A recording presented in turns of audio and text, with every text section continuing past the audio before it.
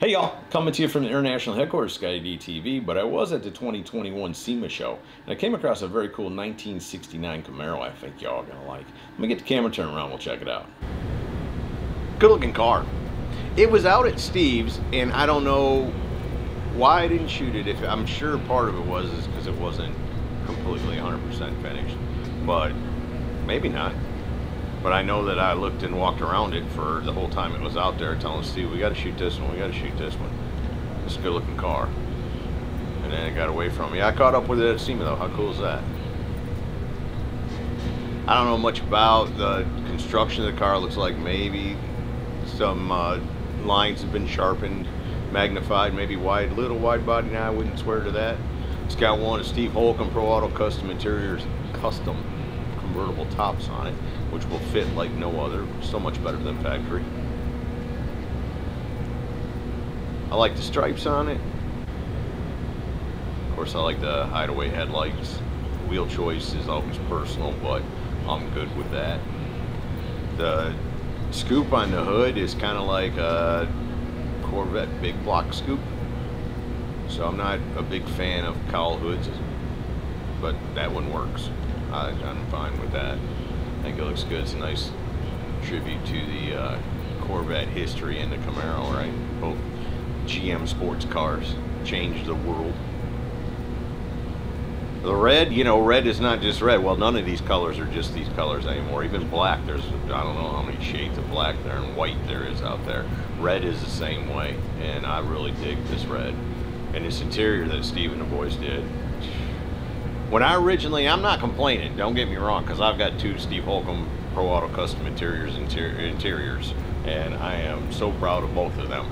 But when I took the Mustang out there, I took pictures of the ZL1 Camaro seats to Steve and said, man, I really dig these.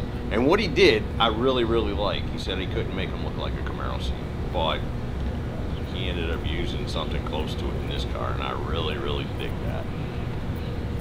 I like those red tucks or red stitching. That's just a really good looking interior. And of course, carbon fiber backs. How cool is that?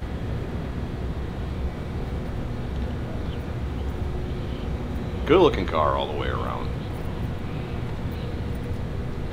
Like I said, the right shade of red.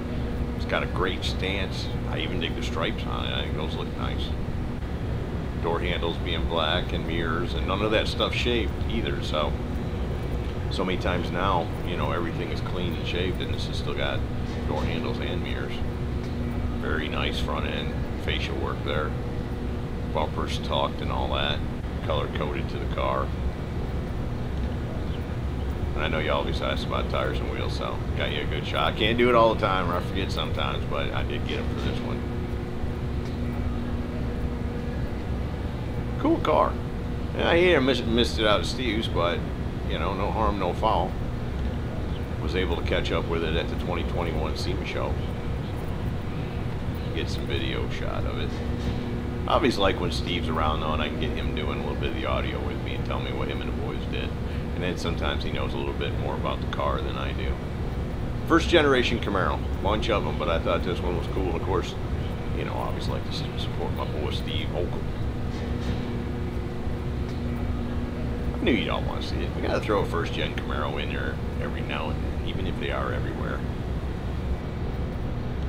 So there you go from the 2021 SEMA show. Very nice 1969 Chevrolet Camaro convertible. Hope you all have enjoyed it. See ya! Hey y'all, make sure you subscribe to this channel and visit scottiedtv.com for an easy way to search the hundreds of videos I have posted. Either click the link in the description or the one at the end of this video.